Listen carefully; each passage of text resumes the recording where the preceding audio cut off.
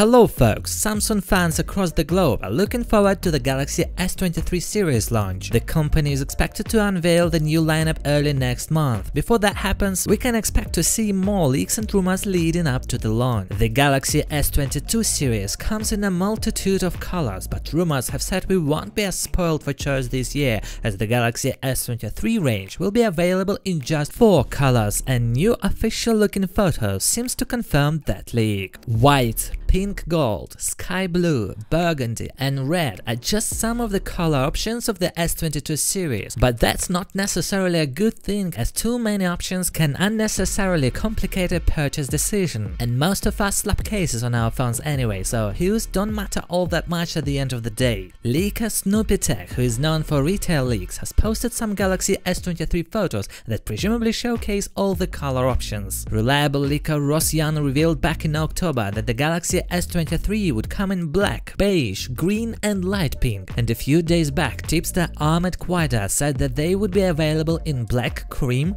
green and lavender. So in very simple basic words, the phones were rumored to come in black, then a whitish colorway, a hue close to pink and purple, and green. Phantom black and green have a formal vibe to them while the others are fun, laid-back hues. According to Ice Universe, these images are not the original ones. He adds that the camera of S23 Ultra is larger than these. S23 Ultra doesn't have a red laser focus. The edge of the curve of the S23 Ultra is steeper than this, and the antenna position is wrong. So you guys don't take these images too seriously. Maybe it's just about colors. However, I think green is going to be deeper. The Galaxy S23 and Galaxy S23 Plus will appear quite identical as far as the design is concerned. The Galaxy S23 Ultra has a more distinctive back courtesy of its more advanced rear camera setup and the boxy silhouette that resembles the Galaxy Note flagships. The design changes are subtle, but they'll make the new series instantly stand out from its predecessor. Samsung has done away with the contour cut design for the camera setup in favor of a more flashed approach. The camera cutouts now protrude ever so slightly from the back panel, which is otherwise seamless in its design. This provides the device with a minimalist look, unlike some previous Galaxy S models that had more bold designs. Moving on, there is one possible downgrade that many have not been particularly excited about. The fact that the Galaxy S23 Ultra could be ditching the 40-megapixel selfie camera of its predecessor in favor of a 12-megapixel one. Nevertheless, according to new information, the front-facing camera of the S23 Ultra will actually be superior to the one found on the S22 Ultra, despite having a lower megapixel count. In a tweet, a tipster has revealed that the 12-megapixel front camera of the S23 Ultra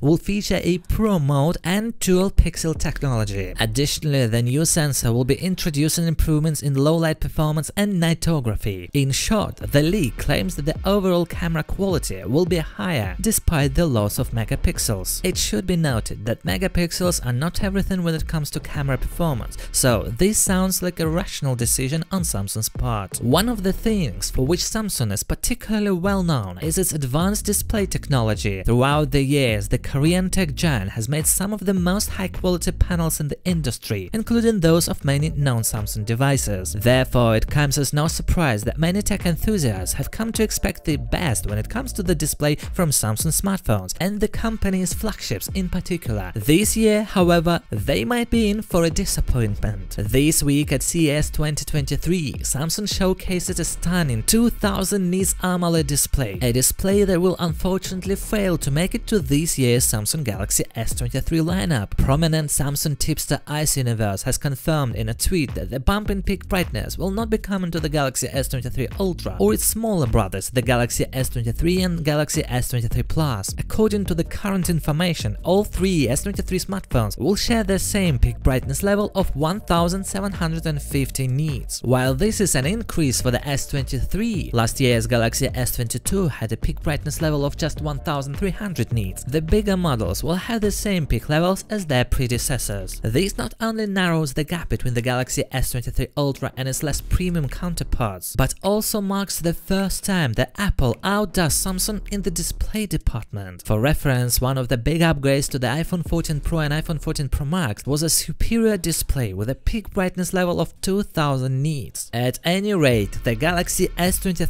lineup is just around the corner. Samsung has confirmed the Galaxy S23 launch date. It is pretty much guaranteed the next Galaxy Unpacked event is happening on February February 1st, 2023. Anyway, we will keep you updated, so subscribe to our channel. Thanks for watching, see you in the next one, good luck to all.